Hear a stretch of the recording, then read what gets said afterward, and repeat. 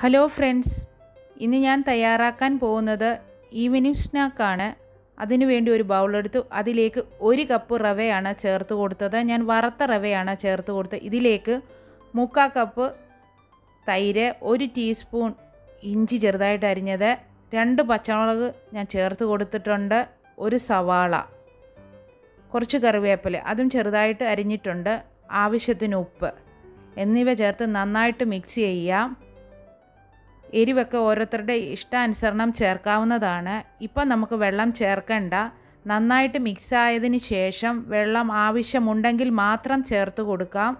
റവ ആയതുകൊണ്ട് അല്പം വെള്ളത്തിന്റെ ആവശ്യം വരും. ഇതിലേക്ക് കാൽ ടീസ്പൂൺ ബേക്കിംഗ് സോഡയാണ് ഞാൻ ചേർത്ത് കൊടുത്തത്. ഇനി നന്നായിട്ട് നമുക്ക് മിക്സ് ചെയ്യാം. വളരെ വേഗത്തിൽ തയ്യാറാക്കാൻ പറ്റിയ ഒരു ഈവനിങ് സ്നാക്കാണ്. ഇതിലേക്ക് രണ്ട് ടേബിൾ സ്പൂൺ വെള്ളമാണ് ഞാൻ ചേർത്ത് കൊടുത്തത്. ഇനി നന്നായിട്ട് നമുക്ക് മിക്സ് ചെയ്യാം. വെള്ളം കൂടാൻ പാടില്ല.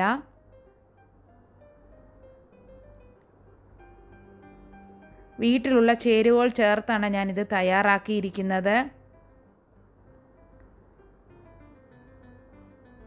ചൂട് ചായയുടെ കൂടെ കഴിക്കാൻ പറ്റിയ നല്ലൊരു ഈവനിങ് സ്നാക്കാണിത്. ഇപ്പം നന്നായിട്ട് മിക്സ് ആക്കിയിട്ടുണ്ട്.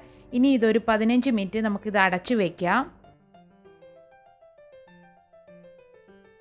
ഇപ്പോൾ ഒരു പതിനഞ്ച് മിനിറ്റ് കഴിഞ്ഞിട്ടുണ്ട്. ഇനി നമുക്ക് തുറന്ന് നോക്കാം. ഇനി നന്നായിട്ട് നമുക്കൊന്ന് മിക്സ് ചെയ്യാം.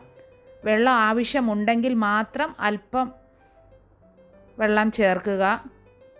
റവ ആയതുകൊണ്ട് കുതിരുമ്പോൾ ചിലപ്പം വെള്ളത്തിന്റെ ആവശ്യം വരും. ഇനി നമുക്കിതൊന്ന് വറുത്തെടുക്കാം. അതിനുവേണ്ടി ഒരു പാൻ വെച്ചു. അതിലേക്ക് ആവശ്യത്തിനുള്ള ഓയിൽ ഒഴിച്ചു കൊടുത്തു. ഓയിൽ ചൂടായിട്ടുണ്ട്. ഇതിലേക്ക് നമുക്ക് കൈകൊണ്ട് ചെറുതായിട്ട് ഇതുപോലെ ഇട്ട് കൊടുക്കാവുന്നതാണ്.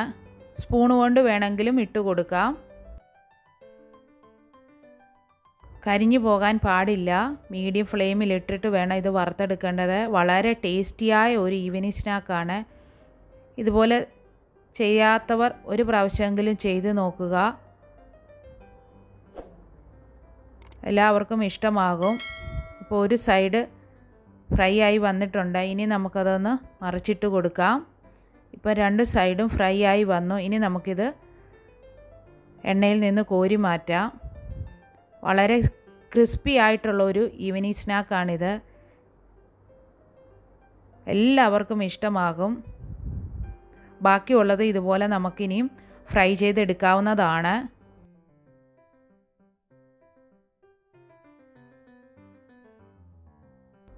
ഇപ്പം ഞാൻ എല്ലാം ഫ്രൈ ചെയ്തെടുത്തിട്ടുണ്ട്.